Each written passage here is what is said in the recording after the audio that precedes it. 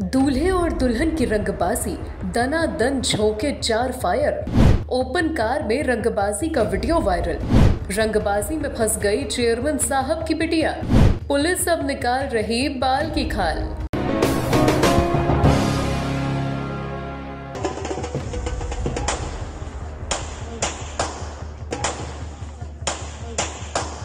Open car में दनादन firing. एक नहीं ताबड़तोड़ चार फायर। ससुराल पहुँचने से पहले दुल्हन की सोशल मीडिया पर धमाकेदार एंट्री से पुलिस परेशान है और अब नई नवेली जोड़ी बड़ी मुसीबत में फंस गई है।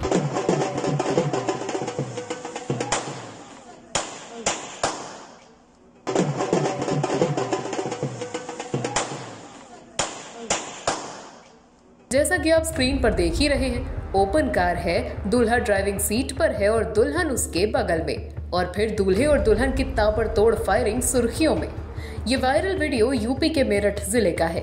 पुलिस ने मुकदमा दर्ज कर धाए धाए करने वाली जोड़ी का भी पता लगा लिया है। थाना क्षेत्र मवाना का एक वीडियो संज्ञान में आया है, जिसमें शादी के समय में जो दूल्हा है, वो खुद गाड़ी में बैठ के फायरिंग करता हुआ नज़र आ रहा है। वीडियो का तत्काल संज्ञान लिया गया है। सुसंगत धाराओं में मुकदमा पंजीकृत किया जा रहा है। अग्रिम वैधानिक कार्रवाई की जा रही है। सर जो फायरिंग का जो असला है वो लाइसेंसी है फिर? अभी मुकदमा पंजीकृत कर पूरे प्रकरण की जाँच की जा रही है। जो सही होगा नियमानुसार कार्रवाई की जाएगी। फ़िलहाल ये मामला मीडिया की सुर्खियों में है। पता चल रहा है कि फायरिंग करने वाली दुल्हन मेरठ ज़िले की नगर पंचायत मवाना के चेयरमैन अयूब कालिया की बेटी अर्शी है। अर्शी का निकाह एहतिया शाम नामक युवक से हुआ। निकाह के बाद विदाई का वक्त था। दूल्हा एहतिया शाम खुली कार में अपनी दुल्हनिया अर्शी को लेकर निकलने वाला था। चेयरमैन साहब के घर पर लोग जमा भी थे। मगर इसी दौरान एहतिया शाम ने पिस्टल निकाली और अर्शी का हाथ पकड़ा और तड़ातड़ कर दिया चार फायर। फ़िलहाल किसी ने दूल्हे और दुल्हन की रंगबाजी वाली हरकत कैमरे में कैद कर ली और फिर जो हुआ, वो आपके सामने है।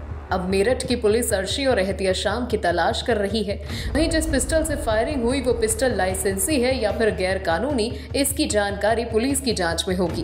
फ़िलहाल, अभी तक आरोपी की तरफ़ से पिस्टल का लाइसेंस पुलिस को नहीं दिया गया, जिससे दूल्हा और दुल्हन पर नाजायज असलाह रखने की धारा भी बढ़ सकती है। Bureau report, NDTV Bharat. देश दुनिया की ताज़ा तरीन खबरों से रूबरू होने के लिए सब्सक्राइब कीजिए आपका अपना चैनल एन भारत।